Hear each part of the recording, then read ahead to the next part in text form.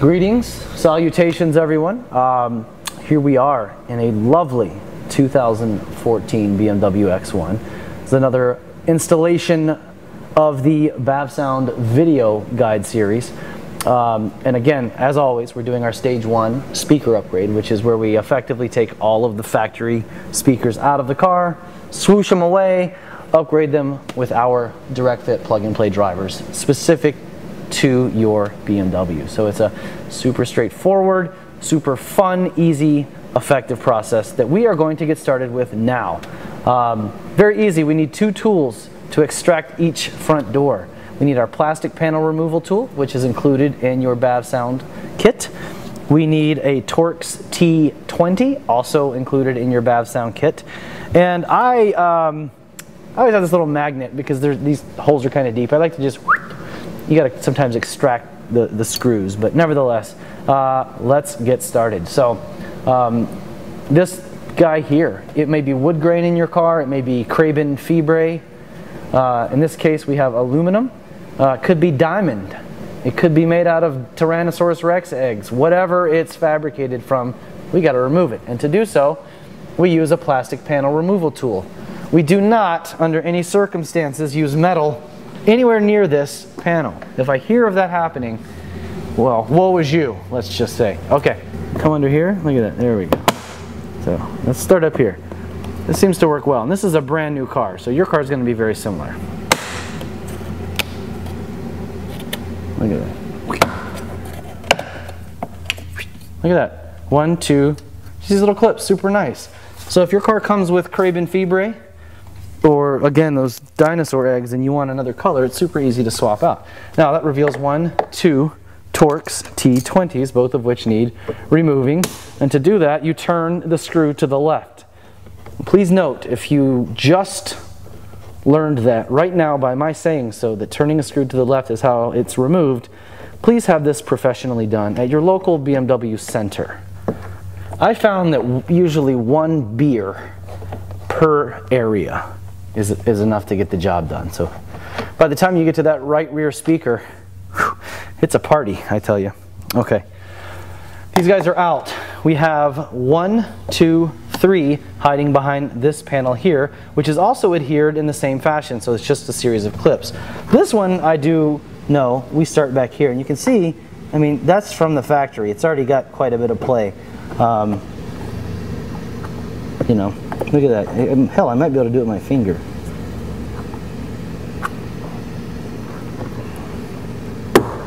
Again, plastic. We do not use metal. If you use metal, I mean, you can use metal. It doesn't affect me one way or the other, but you will have pry marks all over your car, and it'll look like crap. And this top, top one is super tight. Like so. So you see a little tab right there, and then it's just clips. And again, look at that. Super simple. We've got the screw up here at the handle level.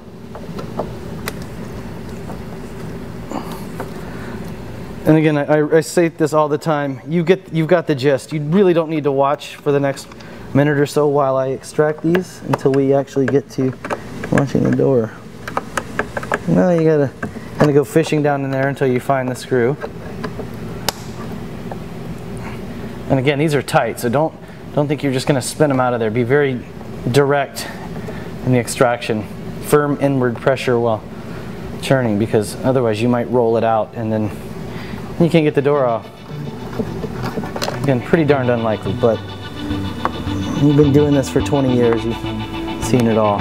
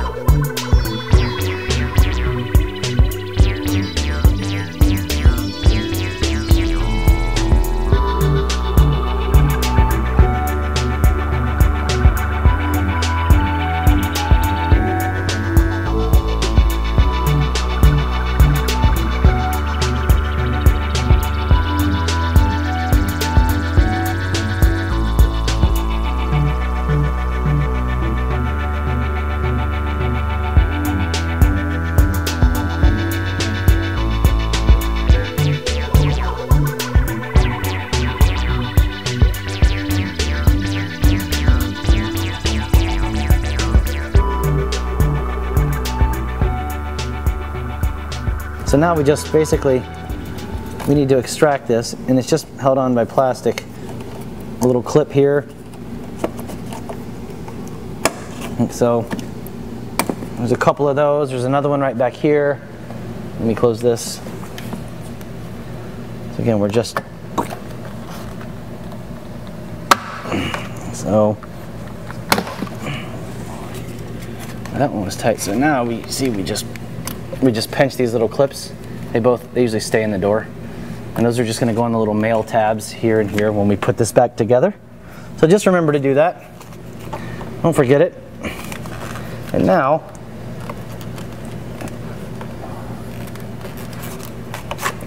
we have access to the back of our tweeter, which is really easy to get off, like so. Now, as you can see, we have access to our tweeter. So you can see this, this whole thing just clips on like so. So that's actually good you guys saw that. That's how we would reinstall it. So we just slide it. It's super easy to do this, but I'm glad it's off. So we'll show you. So the tweeter just pops right out. As you can see, bye-bye harsh aluminum tweeter. And hello, silky smooth piece of jewelry. This is our 25 millimeter silk dome tweet. Um, yours, again, most likely it's going to have a two pin connector right here, and then there will be a capacitor harness that needs to go in line between the tweeter and the mid-range. Make sure that's done prior to reinstallation. All right, so this guy snaps right back in where the factory tweeter came from.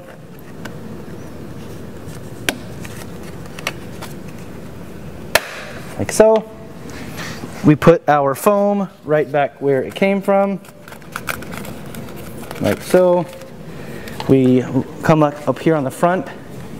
You can see, again, we just get that lined up, that lined up, this lined up. Don't forget, remember, we took these little guys off.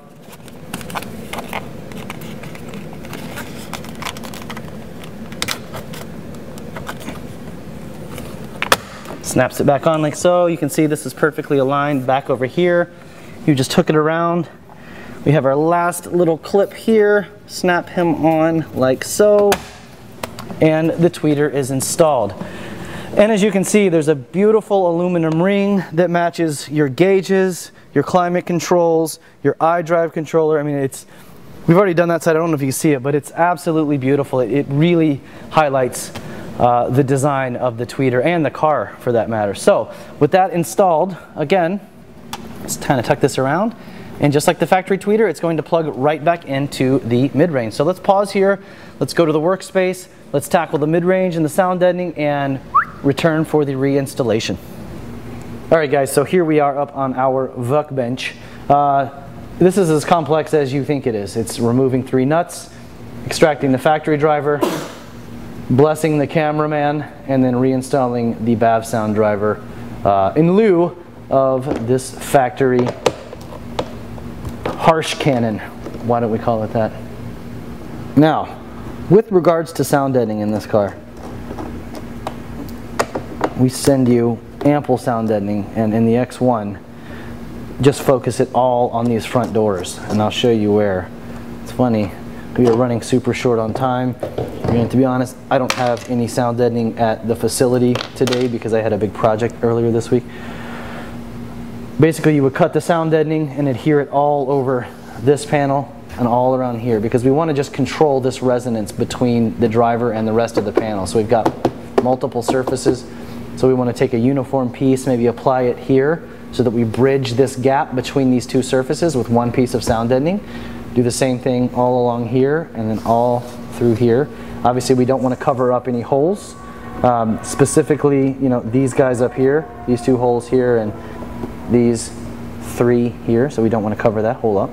Um, but that's it, that's where the sound deadening will go. So use half of it on the front, the left front door, half of it on the right front door, um, and you will have beautifully, brilliantly dead panels for maximum mid-bass performance. So with the factory driver out, we take our driver and as you guessed, we just drop it down like so.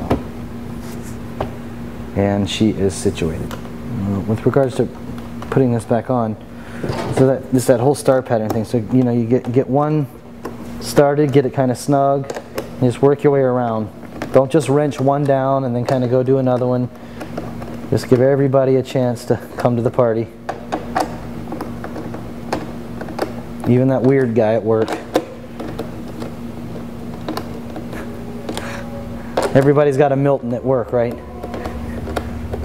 Yeah. He might, he's not here. You're in the peacefulness of your garage. All right, so snugged up. We've got our sound deadening applied. Obviously, we don't. Uh, so at this point, um, what we're going to do, we're going to pop off our boot from the ferrite motor structure. Um, this has no acoustical um, bearing whatsoever, so uh, it's just for aesthetic. Um, quite frankly, it's just the way we've been making speakers for 20 years. So um, some of the newer ones might not have this because we're trying to minimize waste. So just take it off, use it as a koozie. Uh, you can play ring toss with it. Uh, you could try to eat it, I suppose. Uh, so let's move back over to the car and uh, get rocking and rolling. All right, party people. So as you can see, that took all of a couple of minutes to do this whole thing. Um, so again, when we reinstall this, make sure the handle is closed. So close it, latch it, snap it down. Make sure that it didn't slip out of here. There's a little channel here, so sometimes this can slip out and then you put the door panel on it doesn't work. Well, that would be why. Uh, so now we will plug our windows back in, which in and of itself is super easy. Snap. We slide this guy back in. He just slides in here. Can you guys see this at all? Yes? It just snaps right in. So it pulls out, snaps in. It's real, it's real easy. Um, then we plug in our mid-range and tweeter, like so. Plug in our mid-range. Plug in our tweeter. And we are good to go. So, with all of that said, we can now take our door lock mechanism back in the hole like that. And what I like to do is I get the top situated first. It just naturally wants to sit up there and I just do that.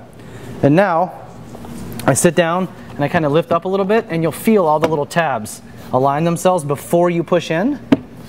You'll just feel it happen. And then, yep, and then using the, using your hand, we're good as new. One, two, three, four, five. Put everything back in and we are good to go. So I mean, there's really not a lot of sense I don't think in watching this, you can if you are so inclined. We're going to do it anyway. Um, but we are going to take you over to the driver's door. Don't forget, as we mentioned earlier, I'm going to show you a little trick to removing the window control switch because on the driver's side, we've got to take this little switch out. Whereas on this one, we could access the plug on the back side without even needing to remove the panel. However, on that driver's side, we need to do something a little trickier. Um, it's, it's easy, but it's just, it, it's required and you guys need to know about it. Because otherwise, you're going to be calling us on Saturday. And if you did that door last, you'll be calling us on your fourth beer. And I don't want to talk to you after your fourth beer. I'm not going to lie. I don't. One or two, you know, there'll be some jokes, haha. Four beers. You're either going to be really angry or a little too happy. As I was mentioning, everything on the driver's door is the same except one little tidbit. And that is the way this switch, or this clip rather, works. So we, there's a little button here, we depress it, and then we fold this back, and that extracts the plug from the connector. There's a second thing you also need to be aware of, which is this clip here. So this sits down in there like so. And it's got little clips on the front and the back, or on the inside and the outside. Those are, those are just kind of stabilizer clips, whereas this plastic clip here is what's really holding this thing in on the front. So we have to depress this tab from the backside. So when we have the door off, there's a little hole, and you can see it right here. There's a little hole right there. And you'll see this clip when you look through the hole from the backside. So basically, we are depressing this tab from the backside, and with our angle pick that's included in your Bavsound toolkit, we depress this tab and lift up.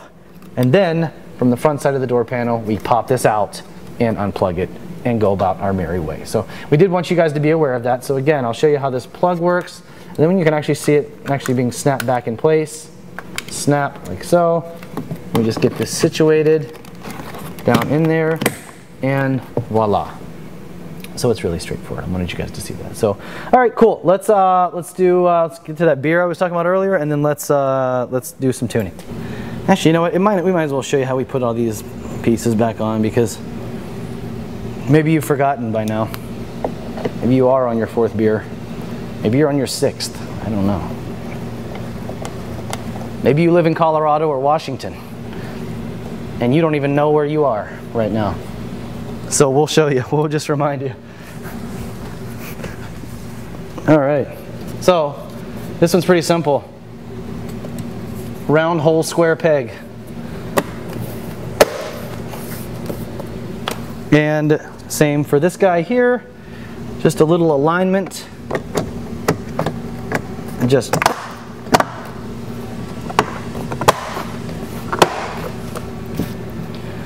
voila, check it out. Uh, it really is perfect. They did a great job building this car. I'm, I'm very impressed. So um, at this point, we're gonna pause, have a beer, uh, maybe eat some food, and then we're gonna start in the back, upgrading the rear speakers in the hatch area. We're gonna put a flat screen TV here in the hatch, um, along with a uh, crystal ball, a chandelier, uh, all back here. Um, so here's what we're doing. Um, effectively, um, the rear end of the car comes out. Um, that sounds daunting. I get it. Uh, truth be told, after you watch me do it, it's it's three minutes to get each side out, um, real time. So it's really straightforward. Um, watch me before you attempt to do it. Um, we've already done this side, so we're going to go and do the passenger side over here. So, um, but we're going to talk a little bit about something that I've already done, which is popping out this piece of trim. And to do so, first and foremost, you've got a Torx T25 here and here. So it's, you know, it's down like that. And then inside of these guys, there's a couple little tie downs, which again, is a uh, Torx T30, just like the guys up there in the front. So um, all those tools come in the Bavsound kit. Uh, that you hopefully ordered with your stage one. If you are a professional doing this, uh, well, you'll have those tools. So um, we remove those, lift up, and like so. And you see we've got one, two, three, and four tabs. Pick that up. Let's place it aside. Alrighty, so first things first, let's uh, clean out all the trash from our car. And then we've got these little tubs. There's one on either side. We just use our fingers. We just pop this guy out of there like so. And he just lifts out. And again, just put everything off to the side. And now, using our panel removal tool, so there's a panel removal tool in your Bavsound kit. You want to use the metal one with the forked teeth. There's a little guy back here and I'm going to show you how I do this. It's hard to see from where you are, but I will. It's, it's always hard to show that. So basically, let's see back here. So it's just a little, little tab like so. We slide this part out with our forked tool and it pops out like so. So we have one right here, and then there's one up here. Now you can, actually that's perfect because you can see how it works. Then we have one more. And to access that, we folded our seat down, and we need to just pop out this leather cushion. And so to do that, just using our hands, get back here and just one, two, three, pop. Lift up. And there's one more back here that you can't it's the same as those guys up there. So again, we've got three of those. And then inside of here, there's a little white tab that attaches to this guy here. So you can see that. So there's just a little tab in here. You just depress it down with your thumb and pull out. And this just reattaches to this, like so. BMW's been doing it like this for, geez, 20 years at this point that and it's ready to snap right back in when we're done. Let's do this methodically. Let's do the carpet first and um, let's keep it rolling. And again, mind you, this is, you know, I'm having to talk you through it and the real actual time is just a few minutes. But we don't like to edit it down. We want you to actually see what's going on and, you know, so you can experience it. I mean, we could pare this down and make it look as easy as we wanted. But we think it's very important that you actually see what's involved before you decide if you want to do it yourself. Of course, a professional, you know, can do this effortlessly. It's what we do. So now this panel's loose, as you can see. Yeah, so now we now take this panel and we just pull it out like so and down. And it just kind of snaps up in there like so.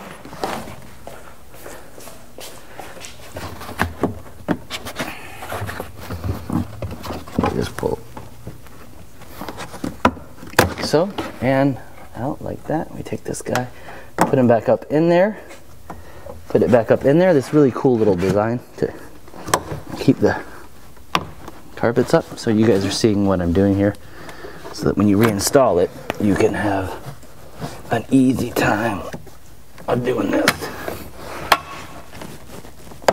All right, cool. So we'll unplug, in this side we unplug the power outlet, on the other side we undo the light. So we'll get that out of the way. And now that's gonna reveal a couple of eight millimeter bolts, which again, I'm using a big socket wrench because this is just, when you've been doing this 20 years, you do what you do. But then 8 millimeter is included in your Bath Bavsound toolkit. So we got a couple of those guys down here. And now there are two more behind here. So this little panel pops out. And to do that, again, you just come up here, just use your fingers because why not? Where is this little guy? There's a tab up here. There he is. Pop it out like so. The tab is actually down here. We come up front. Same thing. Get our fingers up here. And there's one tab up here. Out she pops. Up that lifts. Just like so. And voila exposing our other two 8 millimeter bolts.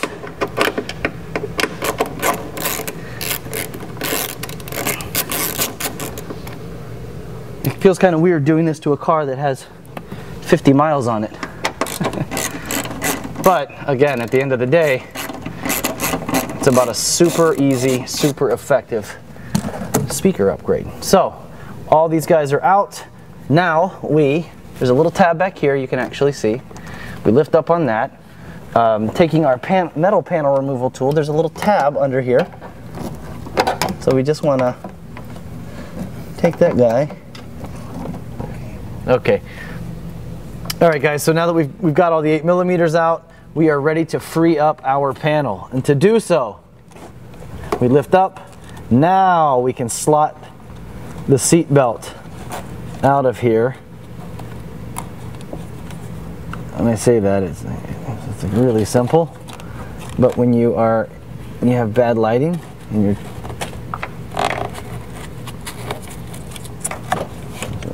we are freed up. Come back here, just lift up. We've got a little clip back here, the little white clip there. Unplug our speaker, and bam, we're gonna take it over to our workspace replace our mid-range, replace our tweeter, and obviously reinstall this. So let's pause it here and join you guys on the workspace. All right guys, so this is a super straightforward process. So with our X1, we've got each of our rear side panels up here. The mid-range is attached just using a couple of Torx T20s. And again, this bit is in your Bavsound toolkit. Uh, you can see this is super entertaining to watch. I was thinking about telling some jokes uh, while I do this to entertain you because then I don't really know any jokes. All right, so easy enough, undone, right? The tweeter, just a couple little tabs. You can just see down in here, just little one, two, three, four. Just secure the tweeter in there. So I just take the angle pick, again, that's in our Bavsound kit. And I just go in there and just pry it out. Like that. Yep. So we take out the factory drivers, put in our Bavsound drivers, and we rock out effortlessly. So again, Bavsound driver just drops right down. Yeah, it was fun. Being innovative is, it's a treat being the first. And don't know about you guys, but I've got some Lionel Richie stuck in my head. Specifically, Penny Lover.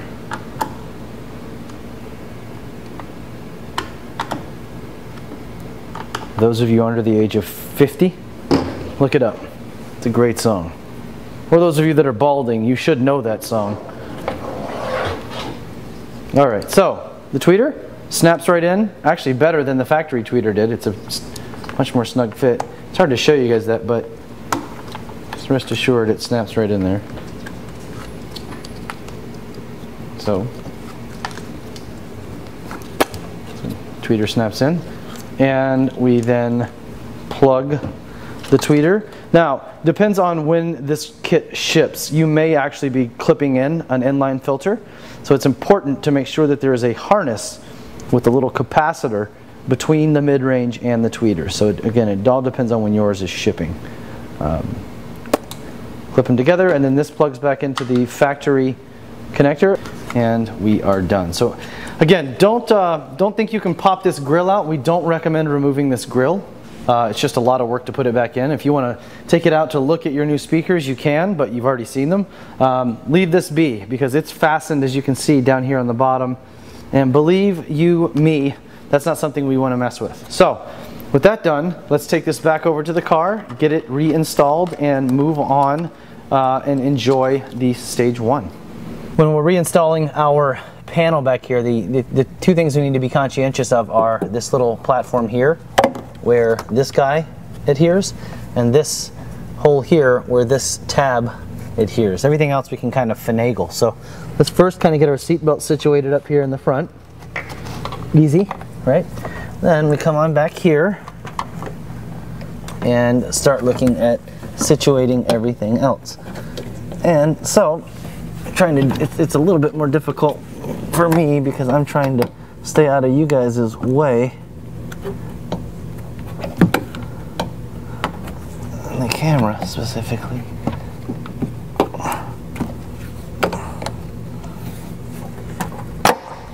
There we go.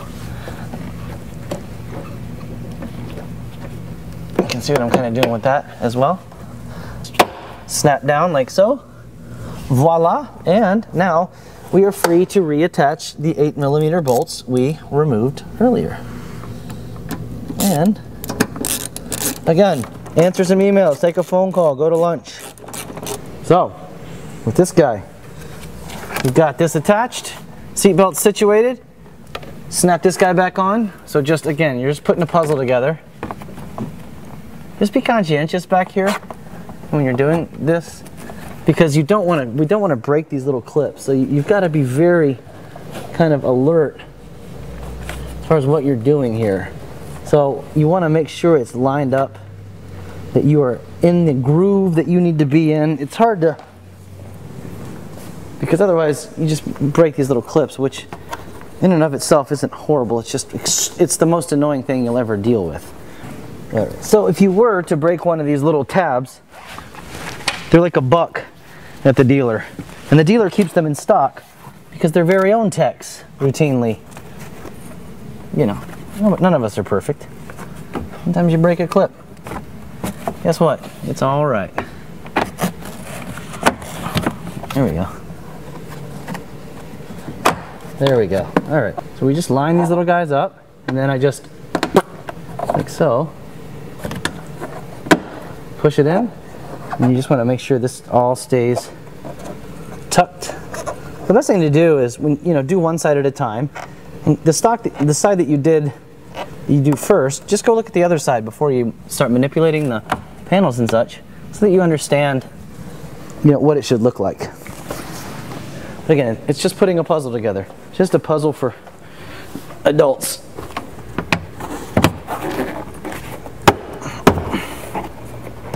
I said, you gotta line all this up. We're good there.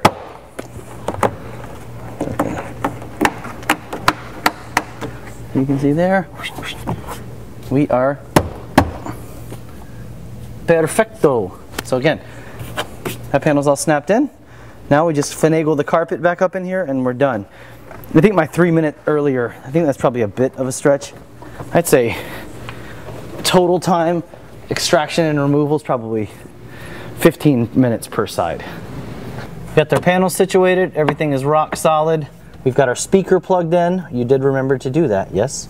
Um, and so now we'll go ahead and put our carpet panel back in. And remember these little tabs we mentioned earlier that came out, we just situate them back up where they belong. Um, make sure that they are positioned exactly like this so that the tab is up in there. And then you really, it's just a little finagling. You know, you plug in your cigarette, you plug in your power outlet on this side, your light on the other side. I don't know anyone that has ever, ever in a million years plugged anything in back here, but hey. It's a selling point, I suppose. Okay. So now, just a little bit of this. Move this guy out of the way. Leave that foam gone. Then, we just kind of tuck. All right, so I'm gonna get there eventually. All right, so we got these guys situated, tab. You hear them snapping? That's good news. Snap. You guys hear that? It situates itself. Look at that. Holes line up perfectly from where we removed this guy. Reinstall that. Don't forget this guy up here in the front. Reinstall that. Got our panel in the back. And back here, we want to check for alignment of the carpet. Again, under. Yeah, we got this one little wonky tab here he didn't want to play. So we got to make him play. And bam, just like that. Right here. Put that tab back in place. We are perfectly situated along this back edge, like so. There we go. We get that situated. We take our little tub, drop it right back in, as follows, like that. And then all we have left to do reinstall our this little guy up here. So you guys see the little tab here? There's a trick here. There's a female receptacle up in here. Make sure you get that latched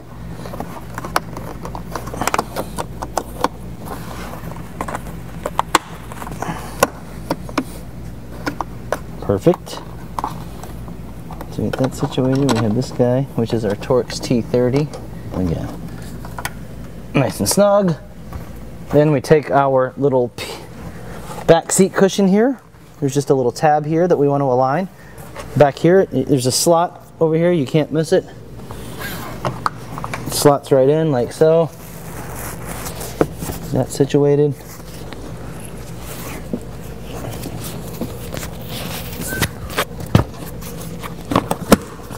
Right in. We have this little piece here, which finishes off the job. Just get this situated in there, that situated in there.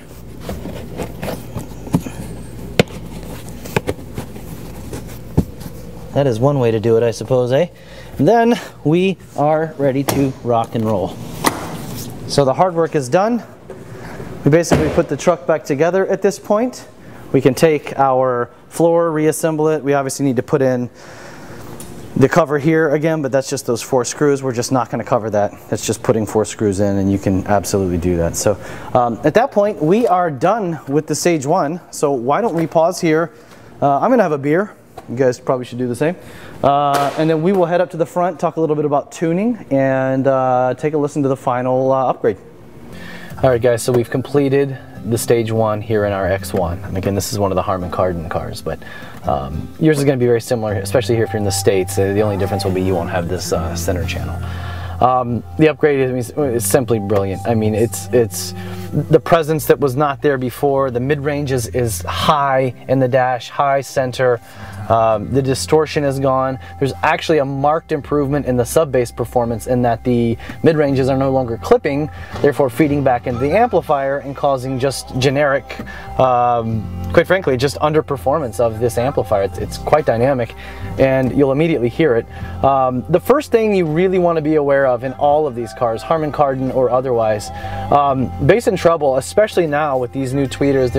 Everything here is was tuned and designed basically on a flat EQ curve. Um, that's because we let the drivers themselves do the work through the design of the of the cones and the domes of the mids and tweets. So, um, I mean, you can you can play with it, but within reason. I mean, you know, you don't want to jack the bass wide open and. Uh, unless you're 80 years old and you know you can't hear over 5,000 hertz or 2,000 hertz, you're gonna come do that. Um, but again, pretty flat, and then this Logic 7 surround setting, just turn it off. It, it's all kinds of digital compression. Um, in and of itself just corrupts the sound, so turn it off.